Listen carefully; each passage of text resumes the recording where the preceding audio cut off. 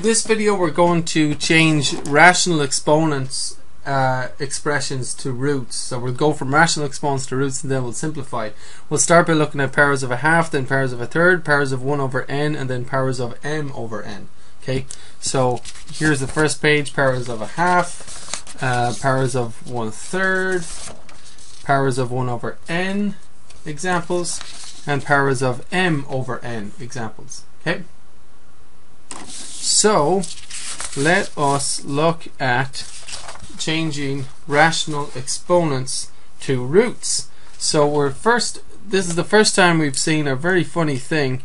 We'll start with what is 4 to the power of 1 half when it's at home, if you know what I mean. So 4 cubed, we know. I hope, I hope we know what 4 squared is and maybe we might even remember what 4 to the power of 1 is. So let's just have a look at these first of all. 4 to the squared is 4 times 4. That's 16. 4 cubed, you've got to times it by another 4, don't you? 4 times 6 is 24. Carry the 2. 4 times 1 is 4. 4 plus 2 is 6. That wasn't hard, right? Okay, 4 to the power of 1 is 4. Now, 4 to the power of half would come down in the sequence about here, wouldn't it? And then let's stick 4 to the power of 0 here. Just to kind of try and remember. Now 4 to the power of 0, do you remember what that is? Anything to the power of 0 is um, is 1, isn't it? It's actually well, it's actually 4 divided by 4 if you remember, which is 1, okay? 4 to the power of 0 is 1. Now, 4 to the power of 1 is 4. 4 to the power of 0 is 1. And um, when I go down further, like 4 to the negative 1 is what? It's 1 over 4 to the power of 1, or 1 quarter, right? So um, let's think. What do you think 4 to the power of half is? Take a guess. Just guess what it is. Any number. Well, it has to be less than 4 and more than 1, wouldn't you agree? Because if I look at this sequence, I'm going, you know, 3, 2, 1, uh, 0, 1, negative 1. The 1 half slots into this sequence between the 1 and the 0 mark. So you would think the answer would probably be between 4 and 1 somehow, right? Yeah, it's not halfway between 4 and 1, by the way. We'll see what it is now. Um, let me show you one thing.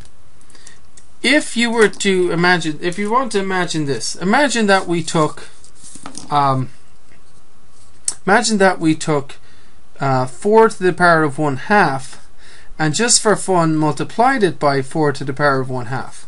Why? Don't ask me why. But imagine we did that. What could we do? What, how could we calculate the answer? Don't are we're multiplying by the same base so what can we do with the exponents? Okay and that's where your one place where your power rules come in.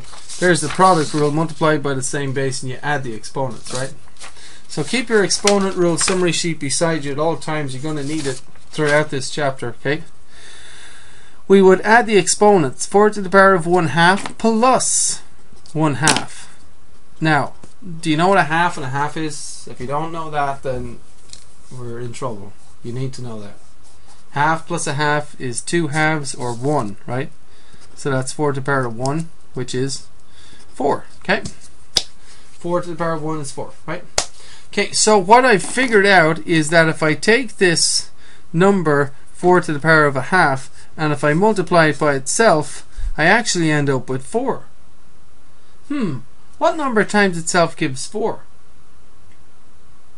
Any idea? Well, I'll tell you. Um, 2 times itself gives 4, doesn't it? So, if 2 times itself gives 4, and if 4 and a half times itself gives 4, don't you think 4 and a half is equal to 2? Does that make sense? That is correct. 4 and a half is equal to 2. Right? And another if another way of thinking about 2 is 2 is in fact the square root of 4, isn't it? What's the square root of 4?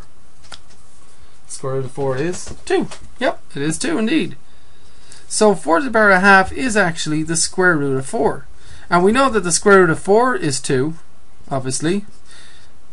Okay, so if I take the square root of 4 and multiply it by itself, I get 2 times 2, which is 4. Okay, so 4 to the power of half is in fact the square root of 4, which is of course 2. So there's two ways of writing it. Now, we're going to be looking at different roots like third, fourth, fifth, and sixth roots. And remember that um, the square root is the same thing as the second root. So it's the second root of 4 is what it is. So 4 to the power of half is in fact the second root of 4, which of course is 2, or the square root of 4, right? So take a wild guess. What do you think 9 to the power of 1 half is? Okay. And let me show you again. Um, 9 to the power of 1 half times 9 to the power of 1 half would in fact give us, just for fun, 9 to the power of 1 half plus 1 half, which is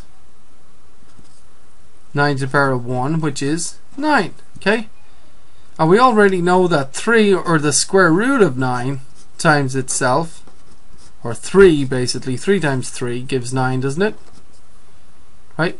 So this, so in in fact, um, nine to the power half is equal to three, or the square root of nine. So nine to the power half is in fact the second root of nine, or uh, three, basically, right?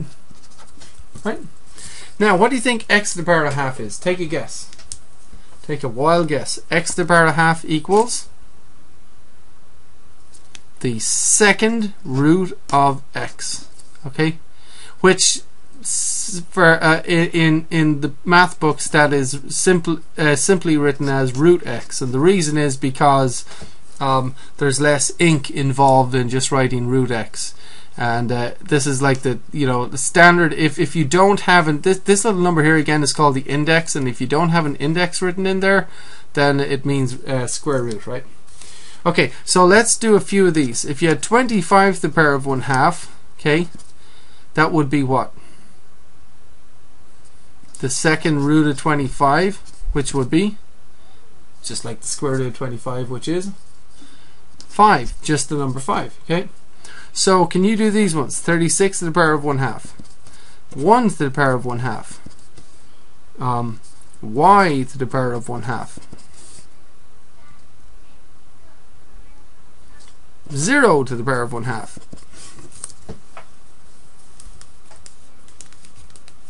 Okay, so pre press pause and try those, please, if you need more time. I'm going to write the answer down now in a few seconds. Okay, 36 to the power of 1 half is the second root of 36, which is um, 1 to the power of half is the second root of 1, or the square root of 1. So this is 6 and this is, what times itself is 1? 1, right? y to the power 1 half is the second root of y, or the square root of y, same thing, right? And 0 to the power of half is the second root of 0, or the square root of 0, which is just 0. Okay? Alrighty, let's have a look at the powers of 1 third. Let's start with 8 to the power of 1 third. And um,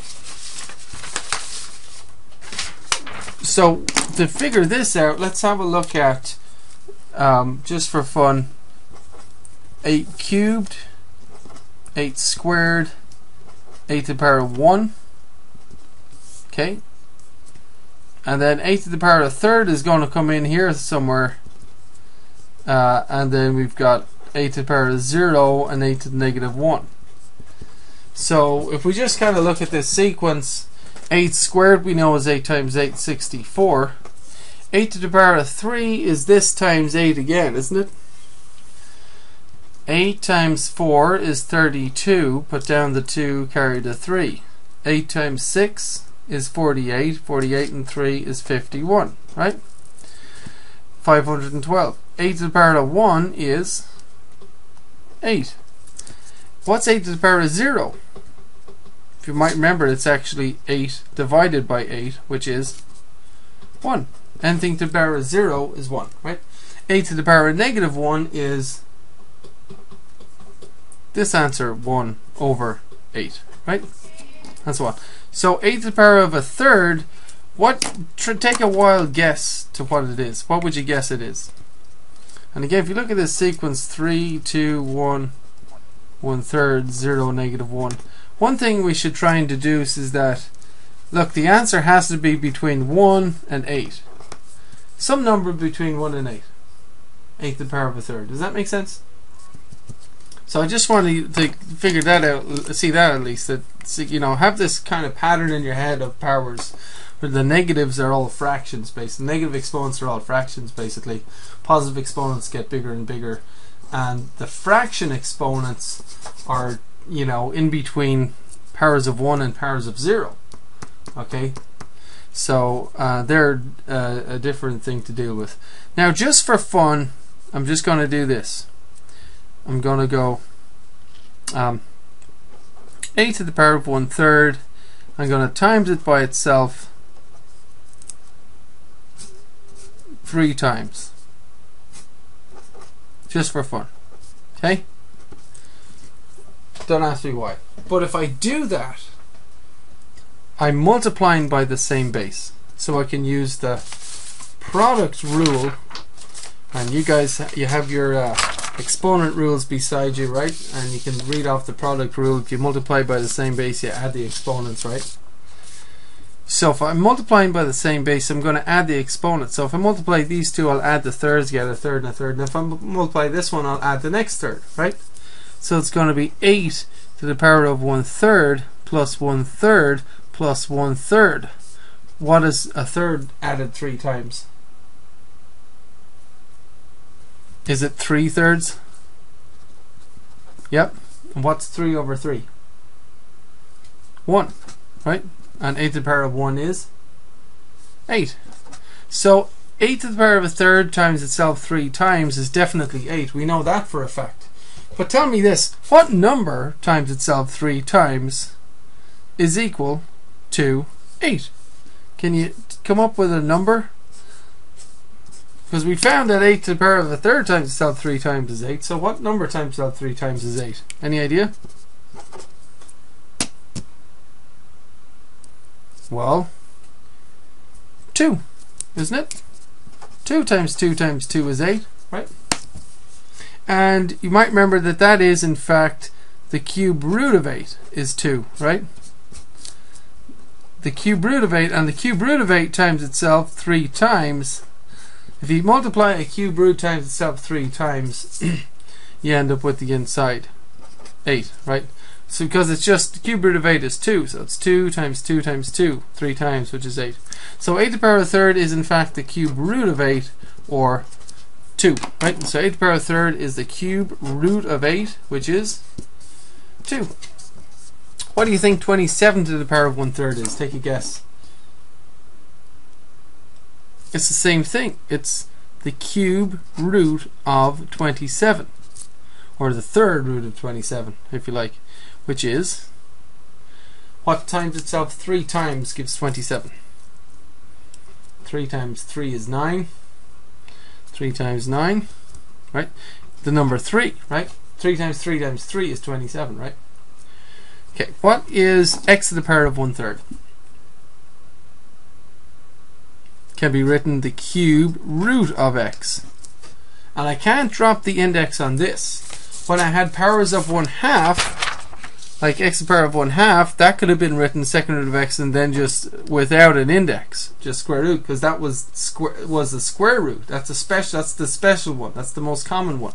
So you can leave the index off. But if you have cubes or cube roots, you can't. You got to leave it there, right? So let's just do a few examples with uh, these guys. So what would um, 125 to the power of one third be equal to?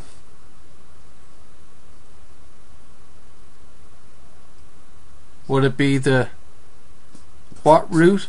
The cube root of 125? What's that? Actually, it's actually see actually 5 times 5 is 25 and 25 times 5 is 125 so this is actually 5 Okay. Um, how about 64 to the power of one third? And do 1 to the power of one third, and then do y to the power of one third. So please press pause and calculate those, and then I'll do them with you.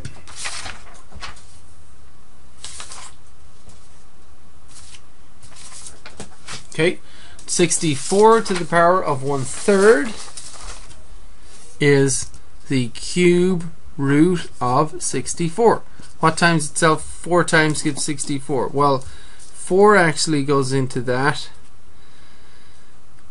4 ti- and 4 into that goes um, once, remainder 2, uh, 6. So this is actually 4 times 16, and 16 itself is 4 times 4. So what we have is 4 times 4 times 4. So what times itself 3 times gives 64? The answer is the number 4. Okay. 1 to the power of 1 third is the cube root of 1, which is what times itself 3 times gives 1? 1. And y to the power of one third is the cube root of y, right? Okay, so powers of a third, um, a to the power of one third equals, what's a to the power of one third? The cube root of a, right? Okay, so let's have a look at powers of, in general, powers of 1 over n. So we saw that um, when we had powers of 1 half, a to the power of 1 half was the second root of a, or just root a, okay? Should have written that in there. When we had powers of 1 third, 1 over 1 over a to the power of 1 over 3 was the cube root of a. So what do you think something to the power of 1 quarter is? Any idea? Well, it is in fact simply the fourth root of 16. Does that seem logical? You could just might just remember that, and then what times itself four times gives uh gives uh 16, right? But once again, if you just break down 16, it's uh, 4 times 4, right? And then we can break down each one of the 4s into 4 is 2 times 2, right? And this other 4 is 2 times 2, so we have 2 times itself 4 times. So the 4th root of 16 is just 2, right? What is 32 to the power of 1 over 5, do you think? Take a guess. Well, if it's power of 1 over 5, that means it's the fifth root of that number, 32. What times itself 5 times gives 32, do you know? And once again, if you're stuck, you can just break it down. 32 is 8 times 4, isn't it? 4 is 2 times 2. 8 is 4 times 2. And this 4 can be broken down to 2 times 2. So what we have is 2 times 2 times 2, 3 of them, times 2 times 2. 5 2's multiplied. So 532 is of course 2. A thousand to the power of one third, and by all means you can do all of these faster than me. Go ahead and race me, get to the end of the video, right? Go ahead and skip on if you like. Go ahead and do all these if you want. Just check the answers on the video. I'm going to go slowly so everyone gets a chance to learn okay? Thousand to the power of one third is the cube root of 1000. Okay? And it's asking what times itself 3 times gives a 1000. And a 1000, of course, is 10 times a 100. And a 100 is 10 times 10. So 10 times 10 times 10 gives a 1000. So 3 tens multiplies gives a 1000, so the answer is 10, and so on, right? So what is 1 to the power of 10? 1 to the power of 1 tenth, rather, not to the power of 10. 1 to the power of 1 over 10 is the 10th root of 1. In other words, what times itself 10 times gives 1.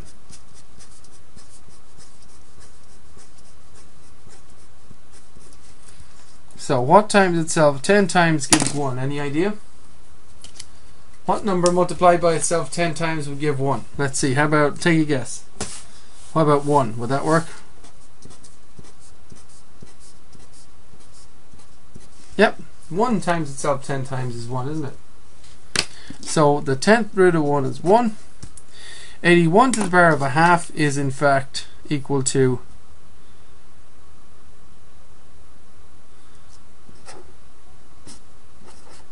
the second root of 81 or the square root of 81 which is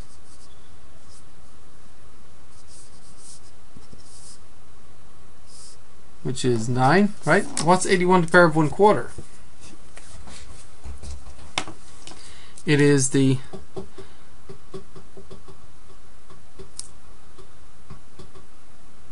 fourth root of 81 right?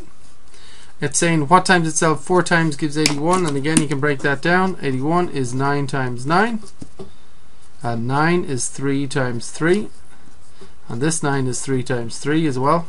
So we have 1 2 3 4 3's been multiplied. What times itself 4 times gives 81 the answer is 3 okay so x to the power of 1 fifth would be the fifth root of x Please press pause and do these last two by yourself if you're still following along. Please press pause and do these by yourself. Okay, now I'm going to do them now. y to the power of 1 over 13 is the 13th root of y. p to the power of 1 over 2 is the second root of p, which can also be written as the square root of p, right? And um, last page for this video powers of m over n. Okay oh sorry last thing what we should have written down is for powers of 1 over n a to the power of 1 over n is equal to any idea? Take a guess. The nth root of a okay? The nth root of a and that will cover uh, all we've done so far so what I'd like you to do is take out your exponent rules summary sheet flip it over and on the back write down rational exponents. The first rule is a to the power of 1 over n is equal to the nth root of a. So for example, as we've seen, you know, a to the power of 1 over 3 equals the third root of 8. Okay, which is, you know, 2 right? For example. Now, we'll do a to the power of m over n next. That's the next thing to do, okay? So, 8 cubed all squared if you take that, just imagine 8 to the, oh sorry, 8, not 8 cubed, 8 to the power of 1 third, and then squared. If you imagine that, and if you remember your power rule, where you multiply exponents if you multiply, if you take a power of a power, you can multiply the exponents with that power rule, right? If you take that, this means that you can take 8 and you can go 2 multiplied by 1 third. Now 2 is 2 over 1, isn't it? And 2 over 1 multiplied by 1 over 3 is 1 times 2, 2 over 3 times 1, 3. It's 8 to the power of 2 thirds, okay? So I just want you to see that 8 to the power of 2 thirds can actually be written like this. 8 to the power of 1 third all squared. Do you see that? I just went backwards from where I started, right? I but I can go I can do that. a to the power of 2 over 3 is eight to the power of 1 third all squared. I can do that if I want, right? And I can calculate that Eight to the power of one third is the cube root of 8, isn't it? And then we have to square it, okay? And the cube root of 8 is what? It's 2. And what's 2 squared? 4, right? So 8 to the power of 2 thirds is in fact 4, right? Similarly, if you took 27 to the power of one third and then squared it, you could imagine, you could just, just for fun, I just want to do this for fun, multiply these exponents because you're doing the power rule now. If it's, it's a power of a power, you're allowed to multiply the exponents.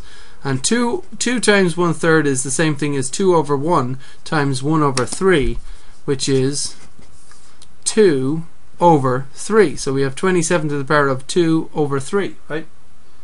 And I'm just going to go backwards now for fun and write that as 27 to the power of 1 third all squared. It's the same thing. We just showed that. If I multiply the 2 in, I'll get this, won't I? Right? So I'm just going backwards for fun. This way and then this way. Just to show you that, that these things are the same, aren't they? Do you understand that these are the same? Okay. Now, 27 to the power of 1 third is the cube root of 27. So what we have is the cube root of 27 all squared. Now tell me this, what is the cube root of 27? What times itself 3 times gives 27? 27 is 9 times 3 and 9 is 3 times 3 so the answer is 3 times itself 3 times is 27 so what we have right here is 3 and then it's 3 all squared which is 9 okay? So 27 to the power of th 2 thirds is in fact 9 okay anyway 32 to the power of 1 fifth all to the power of 4 just for fun I'm going to take this and multiply it in using the power rule. Power of a power you can multiply the exponents. And that'll give me 32 to the power of now 1 fifth multiplied by 4 is the same thing as 1 fifth times 4 over 1 which is 1 times 4 is 4 multiply the tops of the fraction then multiply the bottoms of the fraction. 5 times 1 is 5 okay so I have 32 to the power of 4 fifths. I'm just showing you that this and this are the same thing. And just for fun I'm just going to break them up. Because I want to show you that of course if these are the same I can go from here to here just the same way as I can go from here to here. So I'm going to write this as 32 5 or 32 sorry not 35 32 to the power of 1 fifth all to the power of 4 okay? And 32 to the power of 1 fifth is the fifth root of 32 okay and it's all to the power of 4 and that is the fifth root of 32 is, you might remember it's actually 2. And so we have 2 to the power of 4. And 2 to the power of 4 is 2 times 2 is 4 times 2 is 8 and times 2 again what's 8 times 2 2 eighths is 16 okay. So that's that. And um, basically if I had 4 to the power of 3 over 2 I could write that just for fun, as 4 to the power of 1 half, all cubed. See what I mean? Because multiplying these would, would bring me back to where I started. 3 times a half is 3 over 2, right? And 4 to the power of a half, of course, is the second root of 4. So I have the second root of 4, or 4, uh, all, and then it's all cubed, isn't it? But what is the second root of 4? What is the square root of 4? Well, it's 2. So I have 2 cubed. And what's 2 cubed? 2 times 2 times 2. It's 8, isn't it? Right. So 4 to the power of 3 over 2 works out to be 8. Um, press pause and see if you can figure this one out. 36 to the power of 3 over 2. Okay, give it a go. I'm going to try it now it can be written like this 36 to the power of 1 half then cubed and 36 to the power of half is the, the square root of 36 which is 6 right and 6 cubed is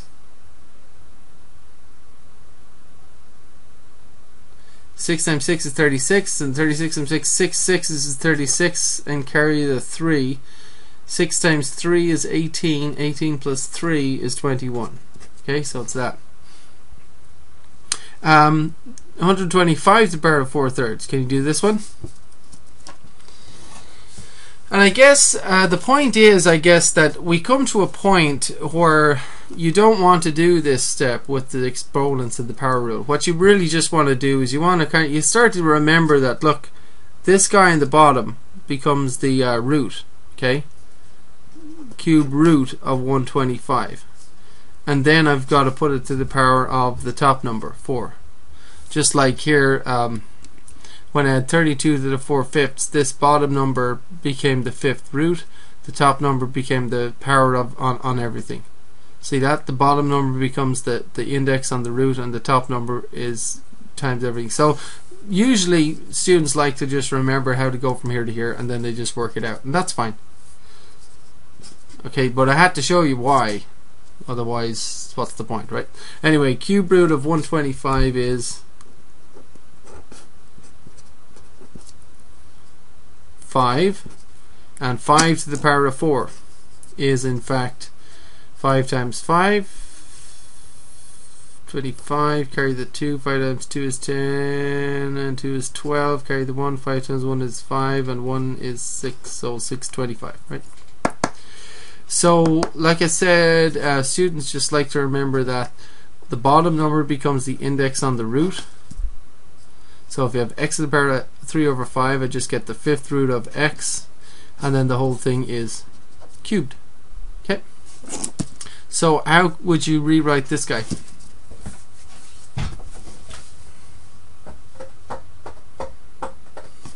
The bottom number becomes the index on the root and then you've got y and then of course it's all cubed. And you can also write that how? How else can you write that? And in the back of your text in your textbook answers and stuff it'll be written as just root y all cubed won't it? Yep so that's that. If you had this type of situation okay um, you would first apply the um, power rule if you if you where if you have factors if you have multiplication inside here the um, one fifth gets distributed here and here right? So you get 3 times a fifth which is 3 fifths x to the power of 3 fifths isn't it because that's 3 over 1 and it's times y to the power of 3 times a fifth 3 fifths okay? And how else how can these be written with roots then? Well that would be the fifth root of x all cubed right? Times the fifth root of y all cubed wouldn't it so please do this one now a to the power of 4 times b squared all to the power of 1 over 9 same way so please press pause to give yourself more time if you need and try it yourself. It'll be on the homework anyway. You might as well figure it out now, right?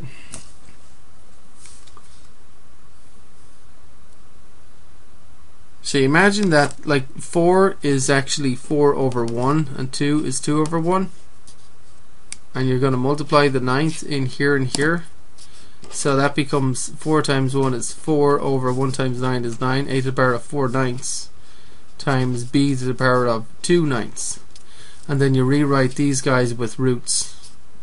The bottom number is the index, right? Ninth root of a and the top number is the power, power of 4.